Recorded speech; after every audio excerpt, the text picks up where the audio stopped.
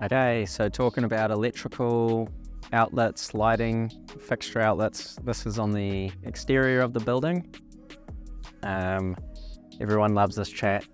We always do a design before we start building the project and that should be done on every custom home.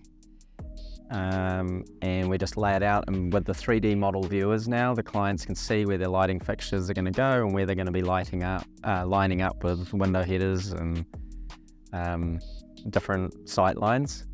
And this is an exterior plug. So everyone asks how that's done, but the conduit runs through the from the outside through the insulation and we do all our conduits in the structural layer of the panel and then we'll take conduit either underneath the slab, underneath the slab styrofoam, and we'll take it over to an interior wall where we can connect, or we take it back to the electrical panel. Now those conduits can go again under slab, or they can go through your floor joist cavity if you've got a two-story, or your roofing framing. It's uh, simple, it just needs to be pre-planned and it doesn't take that much time and it should be done regardless.